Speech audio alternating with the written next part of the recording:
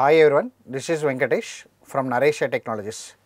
In this video, let me start with session tracking process in servlets. Indirectly, we can call it a session tracking in servlets. Up to now what has been happened means, in the last few videos, I have been concentrating on writing one servlet program and how to run that servlet program by making one URL declared within the web.xml and even I explained this execution flow of one program and life cycle. So, whenever we have a database connections, how can we have DAO layer? Whenever the multiple servlet programs are there, how can we establish one communication between servlet programs using forward and include methods? Even whenever I am sending one forward include method, how can I add one attribute to this request object and uh, servlet context object?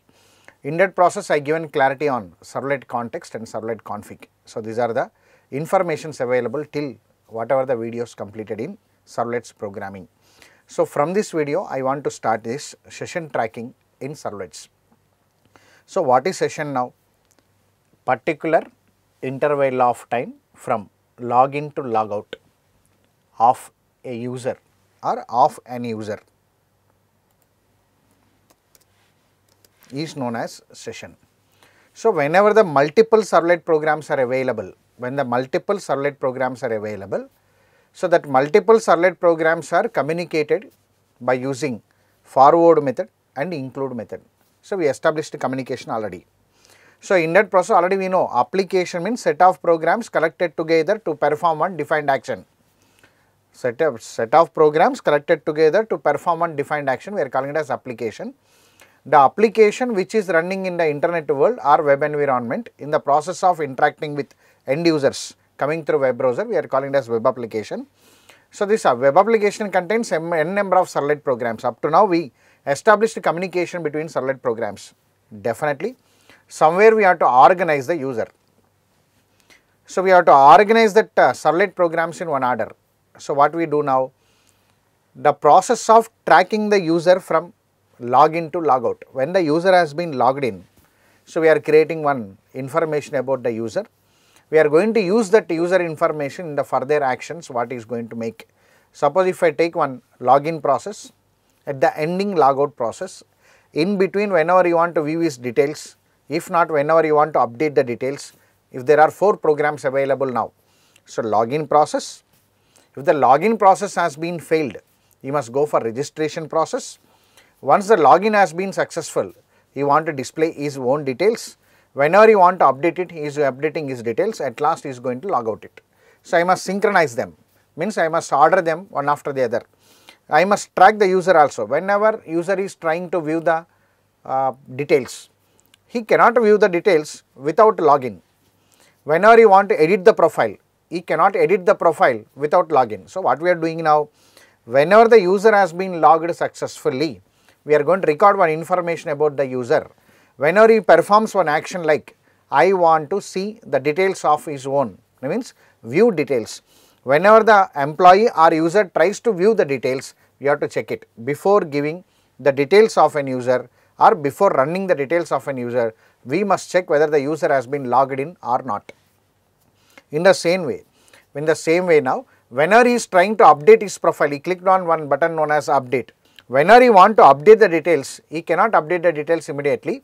So, before performing that update operation, so we have to check again the user has been logged in or not. So, that process of finding the state of user whether he has been logged in or not, we are calling it as session tracking process. Normally session means a particular interval of time from login to logout of an user is known as session. So, maintaining the state of user from login to logout we are calling the session tracking process. This session tracking process are available in four ways. The following are the tech techniques used in your servlet session tracking process. One is cookies process, hidden form fields, URL rewriting, HTTP session. These four techniques are available. In the coming videos, I am going to provide one one example program and I will have a discussion on this four now. One one example program on each cookies, hidden form fields, URL rewriting, HTTP session. Cookies. we had a class known as cookie. Whenever you want to, whenever the login process is successful, we create one object for cookie, we bind one value. If not, we pass value and name and value as parameter. So that is acting as a tracking process that has been added to the response. It comes to the web browser. From there, from every request onwards, the cookie is added and sent. Whenever you perform some actions other than login process, we are going to cross check whether the value is available or not. I am going to demonstrate bit clearly through example program. Hidden form field. Normal English meaning and hidden form field. In HTML tags and we are looking for form tag especially. In form tag we had two elements. One is action, one is method. We know that. So with the among that form we had n number of fields input, type, hidden. Whenever you take input type text we are going to put one input. Input type submit already you know. Input type we are calling it as hidden. Automatically the form field cannot be displayed onto the web browser. It has been hidden from the web browser. Whatever the value you have been placed in that hidden form field is used for tracking process. We are calling it as hidden form field. One field of form tag which is cannot be seen by the which, which cannot be viewed from the web browser. We are calling it as hidden form field.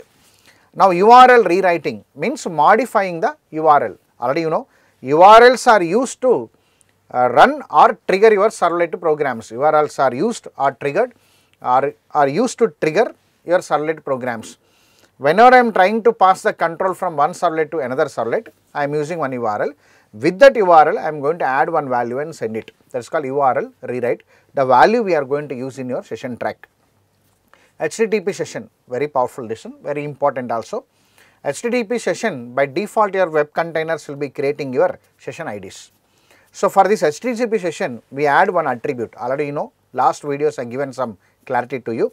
Attribute means one constant variable or we are calling it as one public variable can be used directly. That weight attribute we are going to add for this HTTP session.